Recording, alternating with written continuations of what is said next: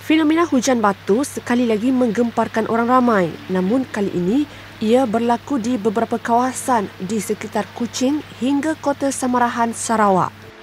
Melalui video yang dikongsikan seorang pengguna Facebook, kelihatan hujan disertai ketulan ais batu jatuh bertaburan di atas tanah kira-kira pukul 4.30 petang Ahad dan berlangsung selama kira-kira 15 minit. Bunyi kuat ais batu jatuh menghentam bumbung rumah juga jelas kedengaran. Pusat Bandaraya Kuching sebelum ini dilaporkan pernah mengalami kejadian sama 20 tahun lalu.